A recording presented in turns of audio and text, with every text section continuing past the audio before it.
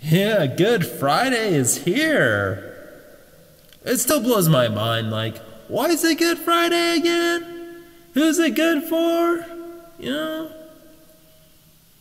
Really? You can only eat fish? Then you can start eating meat again? Guy gets brutally murdered and it's a celebration? Yeah. I know a lot of people have tried to make the same joke. It's a hard joke to make, right?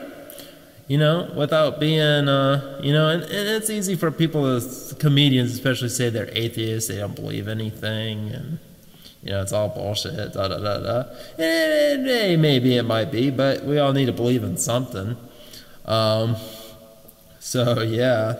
But yeah, good, good Friday even as when I was younger, I never got it. Never got the concept.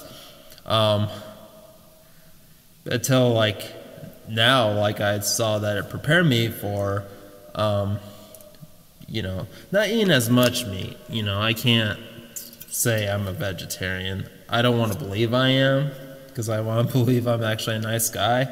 But joke, it's a joke. Jesus. Actually, yeah, it is his day, the day he died, yeah. But anyway, anyway, yeah. But Good Friday, like, it really wasn't good for Jesus, man. It really wasn't. It wasn't good for Mary. It wasn't good for all of his disciples. Now, and that's the thing, like, we're taking it for what it's worth that on Easter Sunday he risen again. So, um, but that wasn't really, um, they didn't know he was going to rise again. Okay?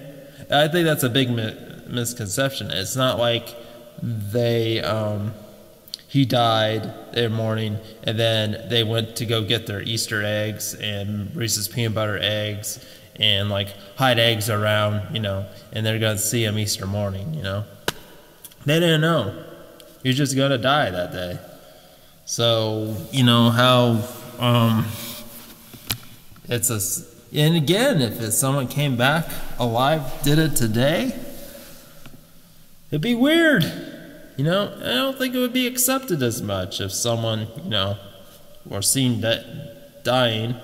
And, you know, what would it be like? You know, like the blacklist, like Red Reddington, you know, being executed, and then the phone call happens. You know, is it like that?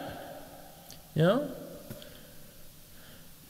because you gotta understand, like you, well, a lot of people thought he was a criminal too. You know, because hey, a lot of people liked um, Johnny Depp I know Dillinger.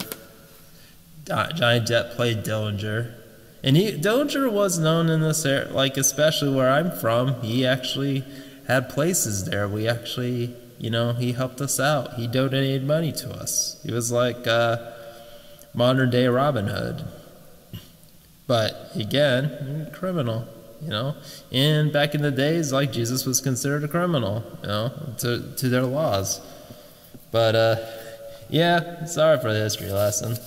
I know you don't don't want to hear about history. You don't want to hear about the history of Good Friday. You don't mind celebrating it, kinda. Like you just celebrate it. You don't like because I part of the whole like uh, Ash Wednesday and Lent is to feel a little sacrifice. But come on, like if it was me, like Jesus and God, they're like cool people, man. Well, I don't know if they're people, but cool beings.